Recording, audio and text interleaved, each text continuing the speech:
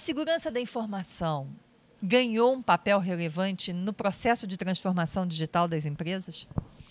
Sim, e, e ficou claro aqui pelos, pelos debates, né?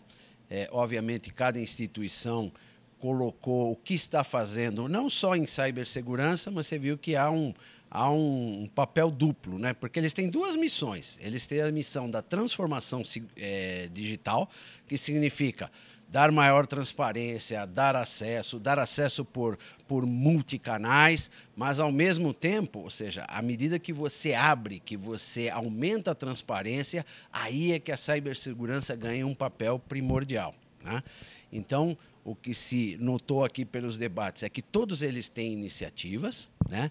É, ou seja, todos estão preocupados, isso está na agenda do dia, estão trabalhando, buscando soluções, buscando é, é, formas de, de, de, fazer um compliance que garanta que, que, que, os riscos são os menores possíveis, mas, ao mesmo tempo, ter o desafio dos, dos gestores de governo e das empresas dizendo que eles têm que fazer transformação digital.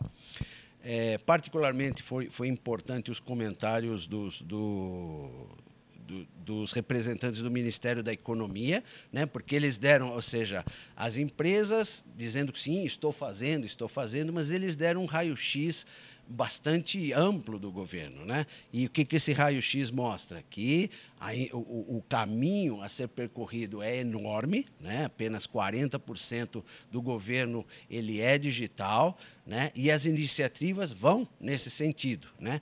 Como é que, como é que eu é, é, digitalizo os outros 60% do governo que, que precisam ainda, como foi falado aqui, que a pessoa vai e coloque a barriga num balcão para conseguir ser atendido, mas sem descuidar da segurança, né? porque uma abertura na segurança pode ser uma tragédia de, de, de, proporções nacionais. Então, acho que o evento foi extremamente positivo, até para o nosso, como, como Unisys, como, como Dell EMC, é, ter uma, uma visão desse mercado. Né?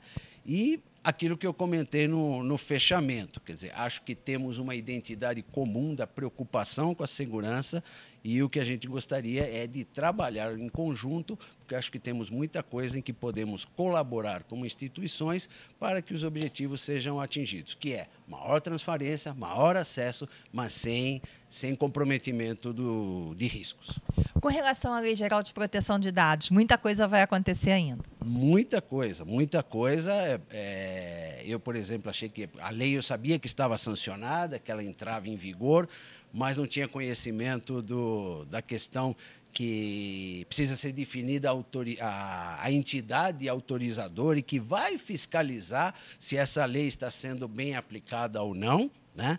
Então, eu vejo que sim, todos fizeram o, o, reconhecimento, sim, a lei estamos trabalhando, mas acho que ainda é, é, nós só vamos saber da, da, real dificuldade da sua implementação e do, do, do, compliance com essa lei no momento em que ela estiver sendo implantada. Quer dizer, quando, quando os procedimentos forem para valer, né, a autoridade fiscalizadora é colocada, aí nós vamos ter uma real dimensão da, da do, do, do quanto essa lei vai ser implementada no momento. Vai ser um aprendizado no começo, mas acho que ela, como, como foi comentado aqui por colegas na mesa, foi a melhor lei que podia ter sido selecionada, aproveitando a experiência da Europa, ou seja, ela é uma lei bastante adequada e, e que já tem uma experiência anterior de implementação, acho que vai dar certo, mas vai, vai requerer sim um esforço de, de adequação. Então, até 2020, né, muita, muita coisa ainda vai ser falada sobre a Lei Geral de Proteção de Dados.